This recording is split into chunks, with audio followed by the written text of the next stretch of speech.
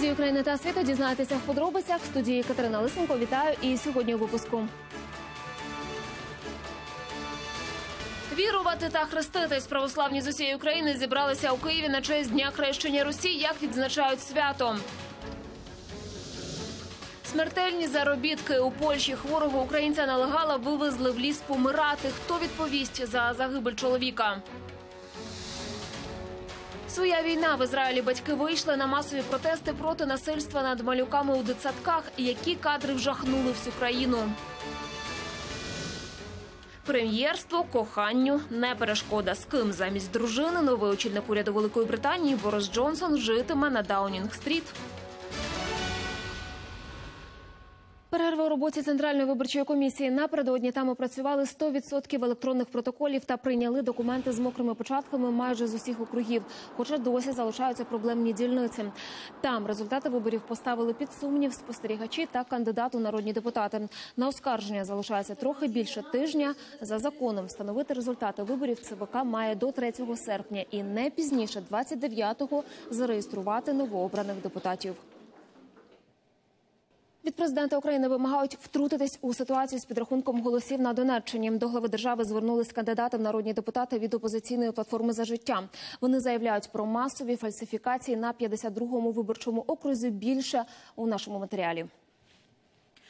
Захистити голоси виборців з таким проханням кандидати в народні депутати від опозиційної платформи за життя Олег Погодін, Валерій Коновалюк та Сергій Третьяков звернулись до президента України Володимира Зеленського. Масштаби фальсифікації виборів на Донеччині були настільки великими, що визначити переможця наразі неможливо йдеться в заяві. Лише 21 липня, у день виборів на 52-му окрузі, зафіксували понад пів тисячі порушень. Аби відстояти вибір людей, депутати звернулися до Донецького окружного адміністративного суду. Там вже відкрили справу через масовий підкуп виборців на окрузі. Тим часом ЦВК надіслала до суду документи, які свідчать, що члени окружної виборчої комісії відмовляються перераховувати голоси, таким чином грубо порушуючи свою ж постанову. Із 12 дільниць, на яких мав здійснитись перерахунок голосів, результати переглянули лише на одній. Кандидати в депутати від опозиційної платформи за життя та їхні виборчі штаби фіксують тотальну бездіяльність правоохоронних органів та системні порушення виборчого законодавства членами комісії на 52-му окрузі. Триває судова епопея щодо результатів виборів на 105-му окрузі на Луганщині. Там кандидат Сергій Медведчук заявляє про масові порушення під час підрахунку голосів. Нині справа у суді. Всі подробиці далі в матеріалі. Вибори пройшли, але їх результати тепер оскаржують в суді. Штаб кандидата в депутати Сергія Медведчука звернувся до окружного адміністративного суду з вимогою визнати результати виборів на 105-му окрузі недійсними. Адже з першого дня штаб фіксував там масові фальсифікації. До того ж, окружна виборча комісія нарахувала майже на тисячу бюлетенів більше аніж самих виборців, зареєстрованих на цьому окрузі. Якщо математично вирахувати кількість виборців фізично як людей, які е, голосували, то різність між е, виборцями і отриманими бюлетенями складає рівно 919 бюлетенів. З приводу цього під час е, засідання окружної комісії підіймалися е, питання представниками окружної комісії, представниками кандидатів, але пояснень не надано, як може бути так, що е, бюлетенів на майже тисячу більше було е, видано, ніж проголосувало людей. Прошу суд е, розглянути можливість скасування результатів виборів взагалі по 105 Окрім вкидання бюлетенів, спостерігачі бачили і їх пошкодження під час перерахунку, так звані каруселі, підроблені протоколи та записи в журналі. Поки ж судові засідання тривають. А от у 207-му окрузі припускають, що одного з кандид... з учасників перегонів ЦВК взагалі не мала права реєструвати як кандидата. У змі з'явилася інформація, що Максим Зуєв від партії Слуга народу не жив в Україні останні п'ять років. Як цього вимагає закон? Всі подробиці далі в сюжеті. Виборчий округ 207 в Чернігівській області. Попередньо тут перемагає кандидат від «Слуги народу» Максим Зуєв. Та виявляється, брати участь у виборах він не мав права. Голландія, Туреччина, Таїланди це ще не весь список країн, де проживав в останні п'ять років Максим Зуєв. Такі дані з інформаційної бази Держприкордонслужби України. З цього списку видно, що Зуєв з десяток разів виїжджав з України на кілька місяців. А 2016 року він понад 230 днів взагалі був відсутній на території держави, в якій тепер прагне стати народним депутатом. Інформація, яка була з відкритих джерел, е, яку він зараз закрив на всіх своїх ресурсах в інтернеті, він мандрував. Тобто він займався подорожами і доволі довго просто був за кордоном саме з цією метою. По напрямках виліта, якщо буде відповідна інформація розкрита через там, запити Центральної виборчої комісії, це питання можна з'ясовувати. Таким чином, 2016 рік не може бути зарахований у необхідні 5 років проживання в Україні, як того вимагає закон. В ЦВК мали б взяти це до уваги та не допустити Зуєва до реєстрації, як це зробили з Анатолієм Шарієм та Андрієм Клюєвим. Він не відповідає критеріям, які висунуті статтю 9 закону України про вибори народних депутатів. А саме він не проживав останніх 5 років постійно на території України. У нього були виїзди понад 90 днів двічі в 15-16 році. Цю інформацію зараз за заявою одного з кандидатів перевіряє Центральна виборча комісія, і ми сподіваємося, що вона ретельно перевірить це питання тепер вже. З'ясує дійсно, чи він має підстави балотуватися в народні депутати. Аби відновити справедливість та домогтися законного рішення, кандидат в депутати Анатолій Євлахов звернувся до центру виборчкому. Вимагає скасувати реєстрацію Зуєва. За законом, щойно інформація потрапляє до ЦВК, комісія зобов'язана зняти кандидата з виборів. Зробити це можна до офіційного оголошення результатів.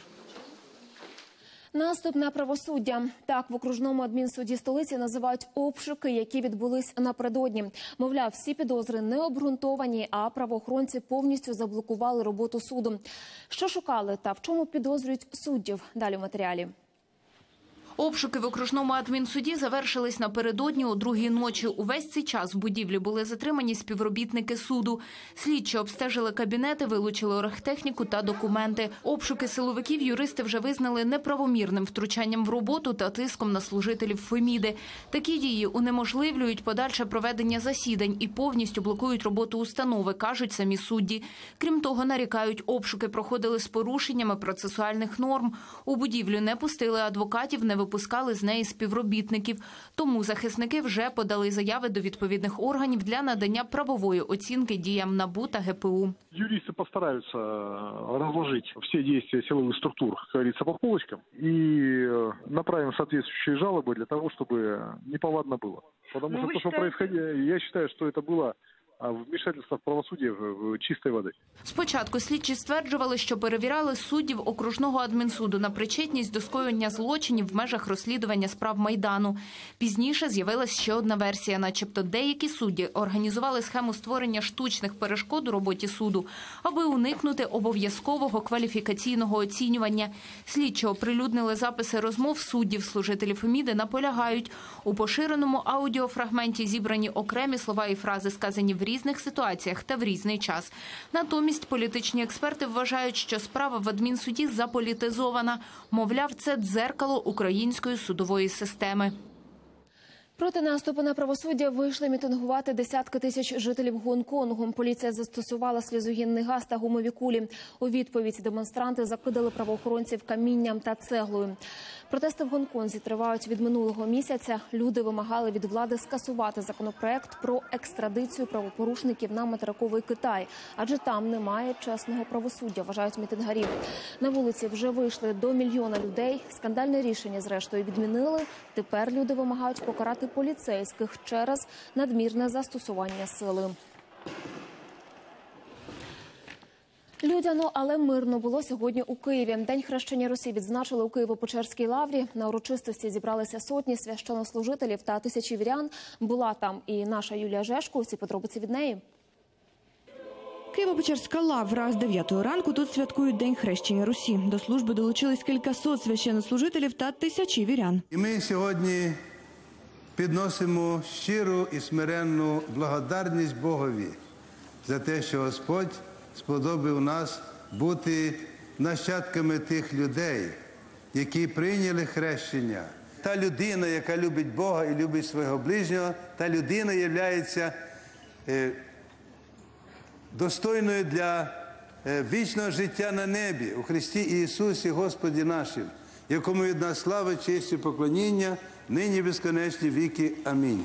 Святкування очолив митрополит Київський та всієї України Онуфрій та прославляли сьогодні не лише хрестителя Русі князя Володимира. За рішенням синоду Української православної церкви були канонізовані троє нових святих.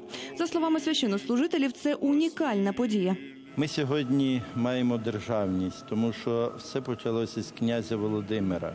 Ми сьогодні маємо культуру, ми сьогодні маємо все те, що свідчить про те, що ми народ є цивілізований, народ достойний похвали, народ, який приніс в світову спільноту багато винахідок, великий прогрес і влив свою силу в думку в науку. Сьогодні буде прославлення в святих трьох видатних наших богословів. Е, Рішенням Священного Синоду єпископ Сильвестр Маліванський, єпископ Василій Богдашевський і протир Олександр Лаголів причислені до лику святих. Отже, список святих, які моляться за Україну та її народ, сьогодні поповнився. А віряни часто просять про особисте. О своих родителях, о своей семье, о своих детях. С сыном. Віра істина канонічна об'єднує всі, всі, всі наші частини, регіони від е, Карпат до Криму і Донбаса. Каждая святыня в в Лавре – это же событие. Вы же знаете, когда какие бы мощи не привозили, или Пантелеймона исцелители, все, тоже собирается множество людей. И Этим как бы подтверждение церкви. А на самом деле люди пришли помолиться прежде всего вере святой, своему велико- величеству праздника. А это как бы последний штрих. За попередніми даними УПЦ, цьогоріч у хресній ході взяли участь біля 300 тисяч вірян з усієї країни. Чи складно було приймати таку кількість гостей, священники не зізнаються, але запевняють раді бачити кожного. Великий радісний день для нашої держави, для нашої церкви, і не тільки для нашої держави і церкви, для всього світу. Чим більше людей приходить, тим радісніше на душі. І для мене, як єпископа, для блаження, що це велика нагорода, він нам для нас, для нашої церкви, і сказати, Господі, я і діти, яких ти мені дав. І в цьому ви, шановні журналісти, берете участь. Спочатку люди приходять дивитись на красоту, а потім ця краса повертається в віру. А коли людина збагачена вірою, для віруючої людини все можливо.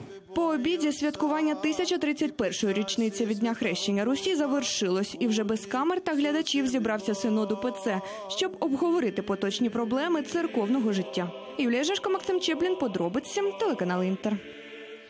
Людяність, яка не має кордонів, майже 4,5 мільйони гривень зібрали поляки для родини загиблого заробітчанина з Прикарпаття. Василь Чорней помер у червні в Польщі. Йому стало зле на роботі, та замість лікарні польська роботодавиця вивезла чоловіка у ліс.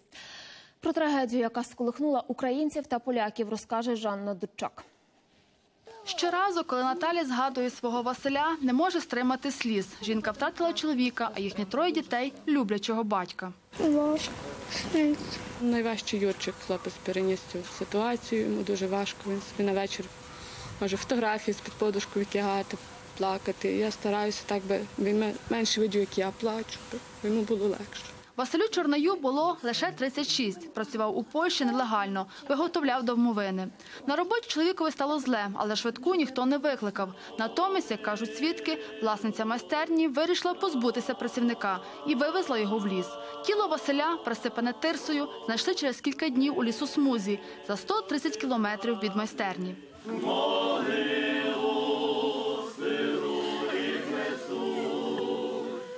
Без годувальника залишилися дві сім'ї. Окрім своєї родини, чоловік допомагав ще хворим батькам. Його мати майже осліпла після серйозної нейрохірургічної операції.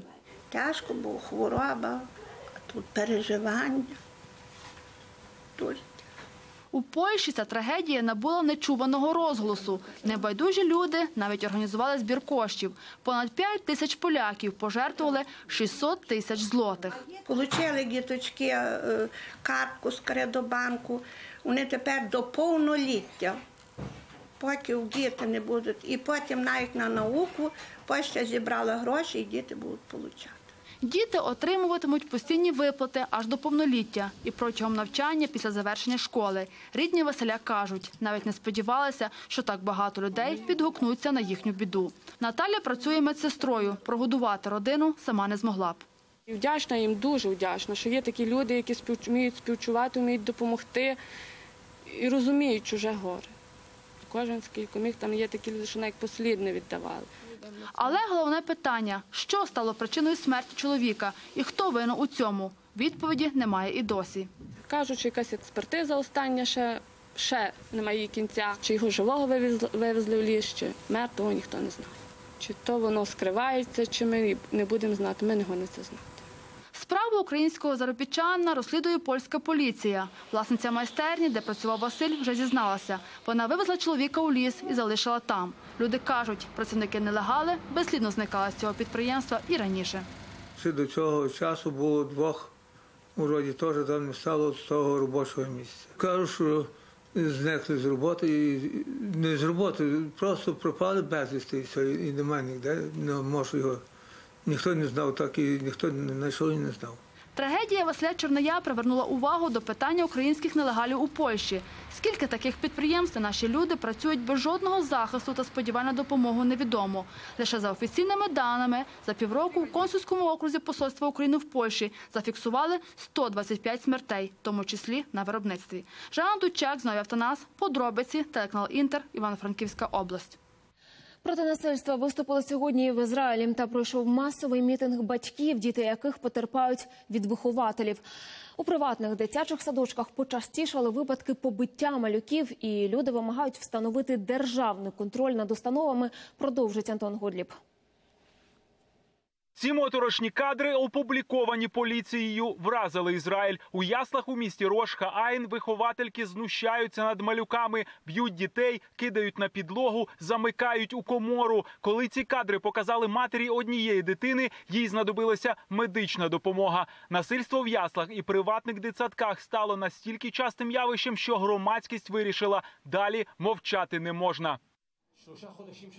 Ми дуже переймаємося щодо днів, коли наша дитина піде в армію і може потрапити на війну. Але задовго до цього вона потрапляє на війну, про яку нічого не знає. Вона не вміє битися і чинити опір. Вона не може перемогти. Цю війну проти дітей ведуть ті, хто повинен дбати про них як про власних дітей. Як тільки за дитиною зачиняються двері в дитсадок, там починається бій, про який ми й гадки не маємо. А дізнаємося тільки тоді, коли малюка поранено або взагалі вбито. Більше двох тисяч людей на площі Рабина в Тель-Авіві кілька годин мітингували проти насильства в дитячих садках. Зовсім молоді, якими ще належить стати батьками, і літні, у кого вже є онуки і навіть правнуки. Але байдужих серед них не було. У кожного своя історія. Рік тому мій трирічний син повернувся з садка із синцями. Він плакав і відмовлявся йти туди знову. Я запитав, що сталося. Він розповів, що вихователька била його, кидала на підлогу і буквально запихала в нього їжу. Тож він боїться туди повертатися. Я був абсолютно шокований. Історії, що люди розповідали на мітингу, одна жахливіша за іншу. Коли Бат Ель Рогов, мама 11-місячної дитини, оприлюднила зі сцени свою, у натовпі плакали. 65-річна вихователька Ясел Ципі била крихітну дитину, душила її і навіть погрожувала вбити. Відеозаписи з камери, яку встановили батьки, стали доказом у суді. Ципі зараз вдома зі своєю сім'єю, а моя дитина пережила таку страшну травму. Я обіцяю, що не заспокоюся, поки не дійду до кінця, поки це чудовисько не відправиться у в'язницю і не отримає по заслугах за свої злочини. Проблема актуальна й донині. Саме про це говорили на мітингу. Найпопулярніша фраза діти не народжуються трирічними. Саме з цього віку вони можуть іти у державну установу, а до цього лише приватні ясла і садки. За ними практично жодного контролю, немає ліцензування та нагляду. Що відбувається за дверима закладу, стає відомо лише коли відбуваються такі жахливі історії.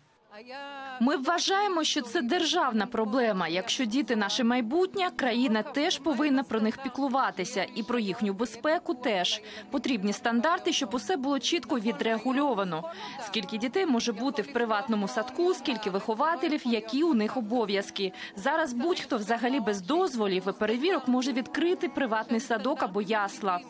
Це неправильно. Присутні на мітингу вимагали конкретних дій від уряду, не розмов і обіцянок, а заходів, які допоможуть контролювати те, що відбувається у приватних дитячих садках. Серед інших вимог повне розслідування тих випадків, про які стало відомо, встановлення камер спостереження у приміщеннях ясел та обов'язкова сертифікація і державний нагляд. Інакше всі ці випадки будуть повторюватися знову і знову. Антон Готліб, Сергій Ауслендер, подробиці, близькосхідне бюро телеканалу Інтер. Уже сьогодні стане відомо ім'я переможця дитячого фестивалю Чорноморські ігри 2019 Конкурс триває вже третій день. Доля володаря гран-прі вирішується просто в ці хвилини. Більше у матеріалі.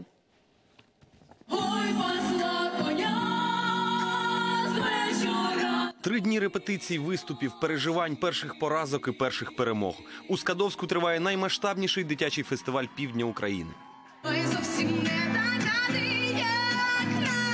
Цьогоріч до фіналу пройшли 48 учасників з усієї країни. Софія з невеличкого селища на Київщині. На конкурс привезла власну пісню про незвичайну дівчину, яка мріє стати зіркою. Ми обирали саме те, що було е, більш актуальне, наприклад, в цьому сучасному світі, бо багато підлітків. Я знаю, що аудиторія саме ці пісні розповідаються про те, що треба йти до своєї мрії, попри всі ці перешкоди, недовіру і глузування. Конкурсанти змагалися у семи номінаціях: дівчата і хлопці в різних вікових групах, народні колективи і гурти. Зі сцени лунали відомі хіти й авторські пісні українською та іноземними мовами. І співають захід, західні хіти, е, такі вже світові, скажімо так, хіти, і роблять це дуже технічно і якісно. А з іншого боку, якщо з'являється українська пісня, то е, вона звучить е, Ну, на відміну від західних хітів, які такі як точна калька, то всі українські пісні тут звучать по-новому, тому що кожного разу аранжувальники намагаються щось нове сказати. Над нововведенням мудрують і організатори фестивалю. Тут уже почали підготовку до наступних чорноморських ігор. Уже есть э, идеи и планы, как еще улучшить, как создать э, такие условия, чтобы дети максимально себя чувствовали и их общение с артистами, мастер-классы, какие-то мотивационные встречи с артистами, с членами жюри. Вот это все мы будем улучшать. И, безусловно, такая же большая, красивая профессиональная сцена, прямые эфиры, анонсы. Мы э, ка- очень быстро объявим сроки проведения для того, чтобы дети начали максимально быстро готовиться. Володаря гран-прі журі має визначити вже сьогодні. Його ім'я оголосять пізно ввечері. А поки що глядачів чорноморських ігор розважають відомі співаки Настя Каменських, гурт «Время і стекло. А хедлайнером вечора стане Монатік. Андрій Кравець, Марина Михайловська, Олексій Уманський. Подробиці телеканал Інтер, Херсонська область. А от новому прем'єр-міністру Великої Британії не до розваг. Борис Джонсон влаштував черговий скандал. У резиденцію на Даунінг-стріт він переїхав не з дружиною, а з коханкою. Хто вона тіньова перша леді та чому через свою пасію Джонсону довелося ночувати на вулиці в сюжеті Світлани Чернецької з Лондона. Ніхто не супроводжує нового прем'єра в найважливіший момент його політичної кар'єри. Зазвичай по ліву руку від очільника уряду стоїть його сім'я. Втім, Борис Джонсон наразі у процесі розлучення. У свою нову резиденцію на Даунінг-стрит 10 Борис теж заходить один. Втім, вже незабаром до нього приєдналася ось ця білявка у рожевій сукні, зайшовши через задні двері будинку. Це 31-річна Керрі Сімонс, коханка нового прем'єра. Разом вони вже півтора року. Саме через роман із нею Джонсон вирішив піти від дружини. Борис Джонсон відомий своїми романтичними пригодами на стороні. Одна із них закінчилася народженням позашлюбної дитини, п'ятої для Бориса. Ще двох синів та двох дочок він виростив у шлюбі з успішною юристкою Мариною Віллер. Разом вони прожили 25 років. З Керрі Сімонс політик познайомився ще сім років тому. Дівчина працювала в його команді на виборах мера Лондона. Потім стала радником кількох політиків, а кар'єру в консервативній партії почала на позиції прес-секретаря. Утім, доволі швидко очолила департамент зі зв'язків з громадськістю. Не знаю про усіх вас, але я чула чимало сміховинних причин, якими намагалися виправдати вбивства китів. Активістка та піарниця Керрі Сімонс має палкі політичні переконання. Вона виступає за збереження океанів, захист тварин і боротьбу з пластиковим забрудненням. Відколи Джонсон став головним кандидатом на прем'єрську посаду, увага до його пасії подвоїлася. А минулого місяця пара потрапила на передовиці багатьох газет через побутову сварку. Дівчина виганяла Бориса з квартири, бо той, начебто, залишив плями від вина на світлому дивані. Коханці так палко сварилися, що сусідам довелося викликати поліцію. Ці домашні розбірки Джонсону пригадали і під час прем'єрських перегонів. Цікаво, чому до вашого будинку приїжджала поліція в ніч на п'ятницю. Здається, глядачі зібралися тут через такого капосного інтерв'юєра, як ви, але не думаю, що їм цікаво знати те, про що ви запитали. Без офіційного статусу дружини Сімонс не стане повноцінною першою леді. Приміром, їй не можна побувати на аудієнції у королеви чи найняти помічника за державні гроші. Різниця у віці між Борисом та Керрі 24 роки, і вони стануть першою неодруженою парою, яка житиме в резиденції прем'єр-міністра на Даунінг-стрит. Світлана Чернецька, Юрій Романюк. Подробиці британське бюро телеканалу Інтер. Хто спричинив стрілянину у Нью-Йорку, де в Європі торнадо підіймало автівки, та навіщо у Франції запустили в небо 500 повітряних куль? Про це та інше далі в нашому огляді. Стрілянина в Нью-Йорку. Один чоловік загинув, ще 11 поранено. За даними ЗМІ, серед них дитина. Шестеро постраждалих в лікарні у критичному стані. Сталося усе в районі Бруклін під час вечірки, яку влаштували на дитячому майданчику. Про причини перестрілки у поліції досі не знають. Не вдалося встановити й особу нападника. Правоохоронці вже звернулися по допомогу до користувачів соцмереж, щоб знайти свідків. 13 тонн кокаїну вартістю 350 мільйонів доларів вилучила берегова охорона США.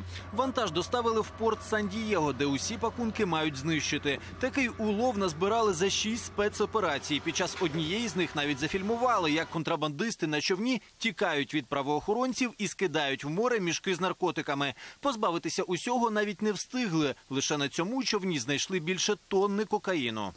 Вулкан Етна активізувався на італійській Сицилії. У ніч на неділю він почав викидати потоки лави. Помилуватися яскравим видовищем зібралися кілька десятків туристів і місцевих мешканців. А поліцейські патрулювали, щоб сміливці не наближалися до гори. Етна один з найактивніших вулканів світу. Його виверження відбуваються часто. Утім, серйозної шкоди не спричиняють. На півночі у центрі Італії пронісся потужний шторм, подекуди зафіксували торнадо. Вихор позривав дахи з будинків і понівечив автомобілі. Жертвами негоди стали троє людей. Одна з них, молода дівчина, загинула у власній машині. То відкинуло вітром на кілька метрів. Ще одна жінка, спортсменка з Норвегії, померла від удари блискавки. У Римі зливою затопило кілька станцій метро. Потоки води розмили асфальт на дорогах. Вантажний корабель Дрегон компанії SpaceX, який запустили у четвер, успішно пройшов стиковку до міжнародної космічної станції. Апарат приєднався до американського модуля. Допомагала в цьому процесі 17-метрова рука-маніпулятор, якою керували астронавти з МКС. Дрегон доставив більше двох тонн вантажів. Зокрема, й 3D-принтер для друку людських органів. Космонавти вивчатимуть, як він працюватиме за відсутності земного тяжіння. У вправності великих пальців позмагалися в британському графстві Суфолк. Там провели щорічний всесвітній чемпіонат з боротьби на пальцях. Парі учасників на руки одягають дерев'яний міні-ринг, на який треба покласти суперника за три хвилини. Боролися і чоловіки, і жінки, і діти. Загалом понад три десятки спортсменів. Такий чемпіонат британці влаштовують вже 11-й рік поспіль. 500 повітряних куль злетять у небо майже одночасно на фестивалі у французькому Ажевілі. Так організатори хочуть встановити рекорди, довести, що їхня подія найбільше зібрання поціновувачів такого спорту у світі. Для пілотів розписали похвилинний графік відправлень. У повітря вони підійматимуться по черзі і склали карту для навігації, щоб кулі не заважали одна одній. Рекордний злет запланували на понеділок. Всеохоплююча небоманія фестиваль авіаторів-любителів вже третій день триває на Черкащині. Десятки власників літаків з усіх куточків країни представили техніку на будь-який смак від літальних апаратів відомих конструкторів до саморобних. Для глядачів вони влаштували справжнє шоу з майстер-класами пілотування та повітряними подорожами. Головна мета фестивалю кажуть організатори зібрати усіх любителів неба в одному місці. Дуже багато людей не змогло привезти свої е, літаки, ті, які вони роблять. Вони е, наполовину зробленому стані, скажімо так, тому що це теж кошти, щоб придбати двигун, колеса, якісь е, запчастини. Це е, потрібні кошти. І це все стягується, люди руками складають себе в гаражах, в такі спілки є. Знаходяться кошти, ідея і мрії, вони збуваються. Коли я сюди попав, ну от начебто мені душа цього аеродрому нашептала, що ну я хочу, щоб тут були польоти. Я хочу, щоб тут були люди, які, е, які е, продовжують династію тих пілотів, які тут вчилися, які тут тренувалися. Це був і, е, мені розказали аеродром Кіровоградської льотної академії. Більше новин, як завжди, на нашому сайті подробності. А я бажаю вам гарного вечора та до зустрічі.